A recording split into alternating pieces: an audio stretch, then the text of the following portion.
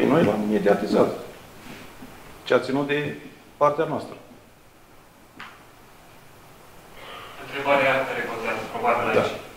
Poliția are obligația să anunțe incidentele de genul ăsta instituția prefectului sau nu?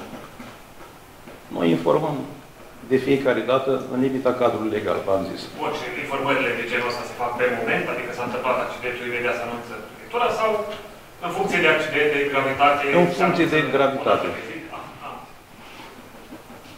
Noi avem o reglementare internă și cu privire la modul de raportare a incidentelor pe linie ierarhică, pe care acesta este cadrul de bază la care ne raportăm.